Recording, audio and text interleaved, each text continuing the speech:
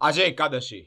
ગોત્રી ગામ ખાતે જે પૌરાણિક રણછોડરાયજીનું મંદિર આવ્યું છે અને આ મંદિરમાં જ તુલસી વિવાહને લઈને અનેક ધાર્મિક કાર્યક્રમોનું આયોજન કરવામાં આવ્યું છે.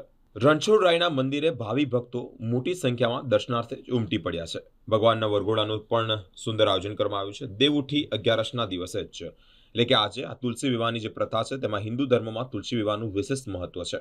ભગવાન વિષ્ણુ સહિત તમામ દેવગણ ચાર મહિનાની યોગ નિંદ્રામાંથી જ બહાર આવે છે. માન્યતા છે કે આ દિવસે ભગવાન શાલિગ્રામ અને તુલસીના લગ્ન સંપન્ન કરવાના જીવનમાં જ આવી રહ્યા હોય. ત્યારે તે જે સમસ્યાઓ આવી રહી છે, તેનો અંત થાય છે. તુલસી માતાને માં લક્ષ્મીનું સ્વરૂપ પણ માનવામાં આવે છે. વિવાહ ભગવાન શાલિગ્રામ સાથે થયા હતા. ભગવાન શાલિગ્રામ ભગવાન વિષ્ણુના આઠમા અવતાર જે શ્રી કૃષ્ણના રૂપમાં છે, તેવું માનવામાં આવી રહ્યું છે.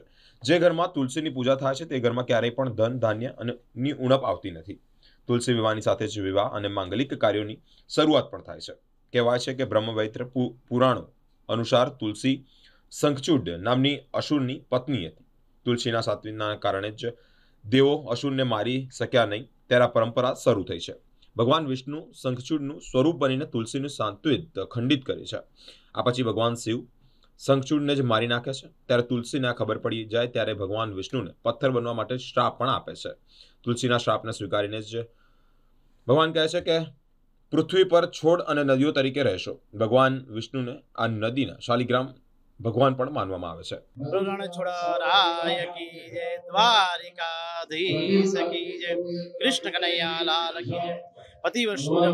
શ્રી રણછોરાયજી મંદિર ગોત્રી તળાવ ખાતે શ્રી તુલસી વિવાહનું આયોજન થાય છે.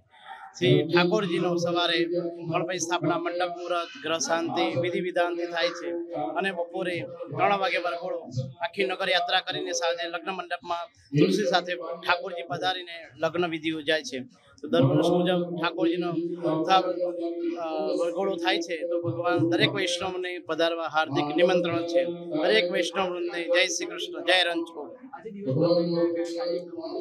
સવારે ભગવાનના અ, તુલસી સાથે ઠાકોરજીના લગ્ન થાય છે ત્યારે સવારે ગણપતિ સ્થાપના મંડપ મુહૂર્ત અને અત્યારે ગ્રહ શાંતિ ચાલુ જ છે.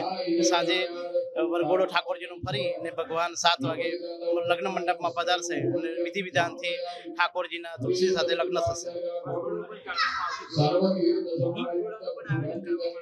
હા દરેક વૈષ્ણવ પધારવા હાર્દિક નિમંત્રણ છે.